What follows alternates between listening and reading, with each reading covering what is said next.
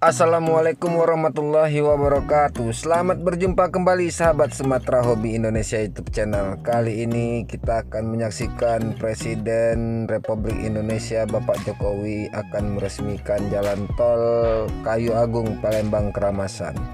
Sahabat, jalan tol ini adalah jalan tol yang menghubungkan antara Bakauheni Lampung dengan Palembang. Jadi dengan diresmikan jalan ini sahabat, resmi pula jalan tol dari Lampung ke Palembang tanpa putus.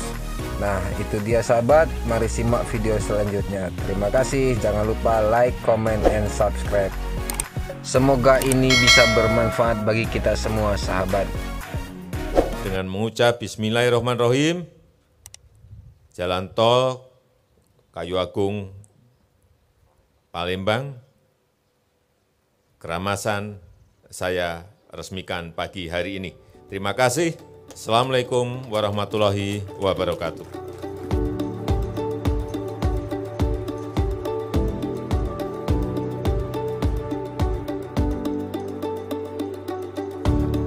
Jalan tol ini merupakan bagian dari jalan tol Trans Sumatera eh, dari Aceh hingga ke Bakahuni panjang dari ruas total itu adalah 111,7 km dan segmen 1 seksi 1 ini adalah 42,5 km ada dua hal yang uh, sangat penting dan sangat uh, unik. Uh, yang pertama tentu saja yang saya sampaikan tadi dari sisi teknologi. Teknologi ini menggunakan teknologi yang paling mutakhir yang ada di dunia untuk teknologi uh, perkuatan uh, terutama membangun di tanah rawa yang pertama 22 km. Yang kedua adalah dia itu memiliki tiga jembatan panjang. Tadi saya sampaikan uh, Sungai Musi, Sungai Ogan dan Sungai Keramasan yang uh, ketiga-tiganya memiliki bentang yang sangat uh, panjang lebih dari satu kilometer ujung ke ujung ya. Bahkan di Sungai Ogan itu 1,7 km ujung ke ujung dengan bentang cantilever yang terpanjang di Indonesia sekarang ini. Jalan tol ini adalah poros terpenting dari jalan tol Trans Sumatera. Poros utama, backbone, Sumatera bagian selatan. Dengan selesai dan beroperasinya jalan tol ini, jarak tempuh dari Bakauheni ke Palembang yang berjarak 373 km yang biasanya ditempuh saya mendengar biasanya ditempuh 12 jam perjalanan darat. Sekarang hanya perlu waktu 3 sampai tiga setengah jam. Itu dia sahabat peresmian jalan tol Kayu Agung Palembang Keramasannya sahabat ya.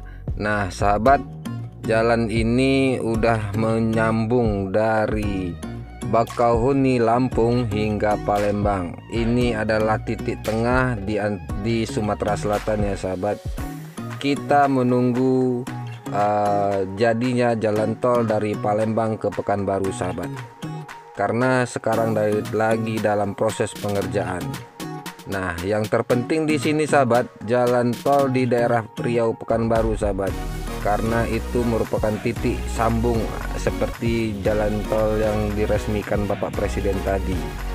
Karena di Pekanbaru ada simpang antara Pekanbaru sama Sumatera Barat, Padang dan ke arah Medan sampai ke Aceh ya sahabat. Nah, itu dia kenapa jalan tol ini saya angkat sahabat mirip sekali dengan yang ada di Riau atau Pekanbaru. Semoga informasi yang saya berikan ini bermanfaat untuk menambah wawasan kita ya sahabat. Jadi kalau bermanfaat silahkan sahabat share ke teman-teman atau bagikan ke teman-teman. Saya hanya berusaha menyampaikan informasi. Semoga ini bisa bermanfaat bagi kita semua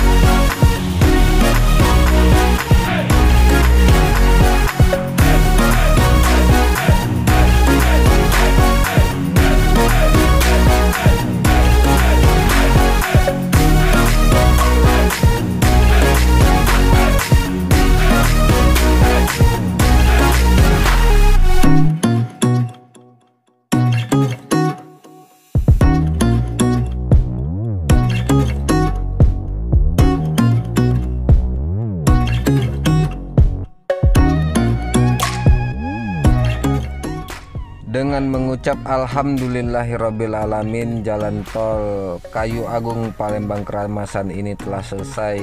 Jadi jalan tol dari Bakauni Lampung hingga Palembang telah tersambung sepenuhnya. Dan dengan doa juga saya berharap jalan tol Trans Sumatera jadi hingga Aceh tepat waktu Mari sahabat kita berdoa sama-sama agar semua ini bisa terlaksana dan segala rintangan dapat diselesaikan dengan baik. Maaf. Oke sahabat, terima kasih. Segala kekurangan hanyalah milik saya dan segala kelebihan adalah milik Allah Subhanahu wa taala. Terima kasih, sampai jumpa di video berikutnya. Assalamualaikum warahmatullahi wabarakatuh, sahabat.